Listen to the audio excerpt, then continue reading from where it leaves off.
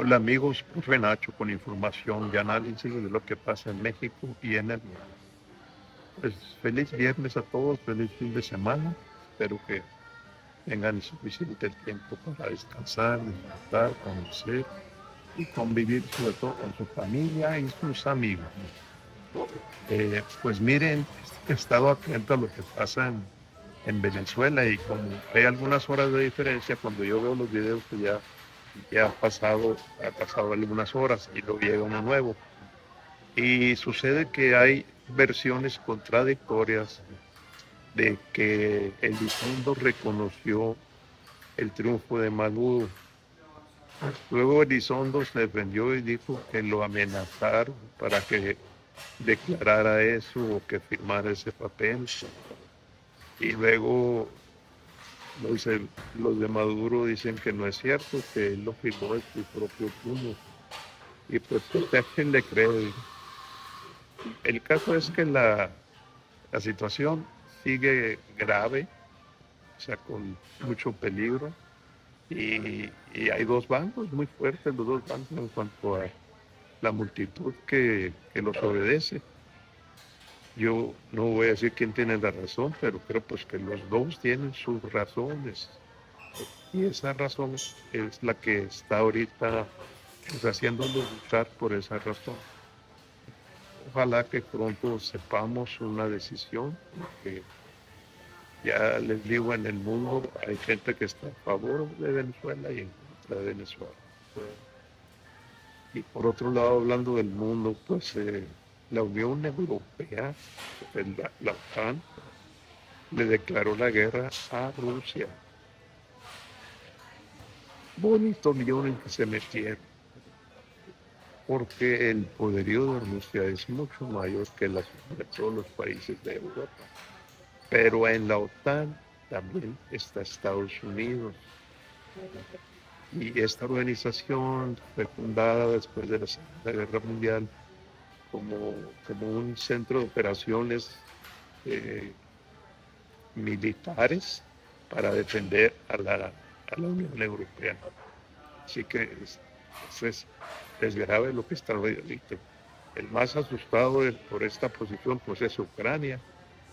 Va a ser el primero que le van a pegar.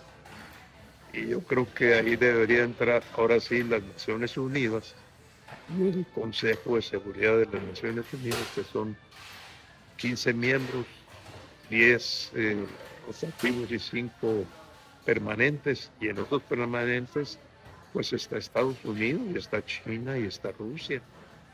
Entonces creo yo que deberían de, de evitar esa guerra Europa, otra guerra en Europa. Es así como es, es una posibilidad de que se haga vaya a otras partes rápidamente.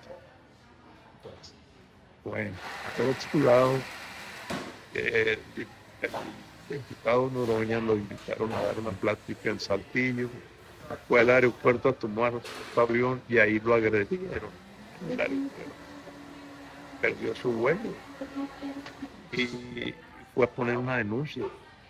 Y la persona que le, agredió es un abogado un abogado que representa a los factureros.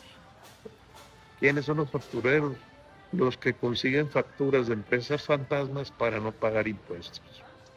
Así que ese transgresor está metido en un doble lío, uno con Oroña y otro con el SAT.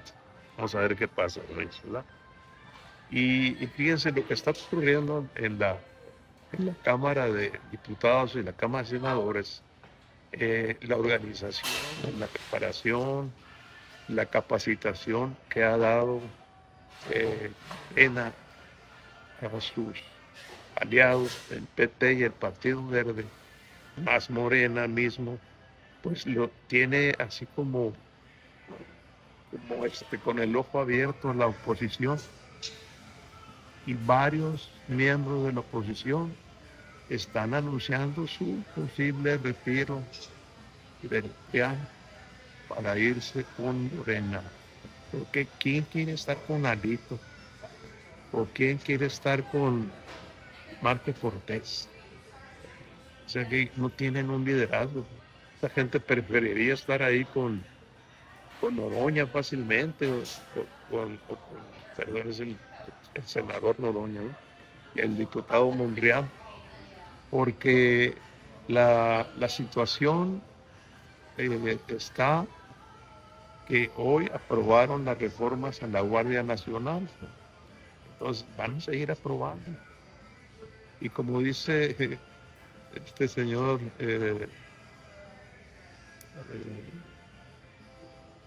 Joaquín López Doria, que lo único que está haciendo es agarrar poder, quiere tener más poder, pero si ya se va, no, dice que no se va a se va a quedar ahí escondidito para seguir mangoneando a Claudia. Que poco conocen a Claudia, de Amigos, que estén muy bien, les mando un abrazo. Bye.